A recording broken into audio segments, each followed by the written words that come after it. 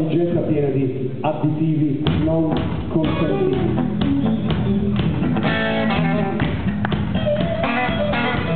È stato portato alla stazione di polizia. Come sappiamo bene in America c'è per pagare i dollari per pagare la cauzione è fatta in pochi minuti.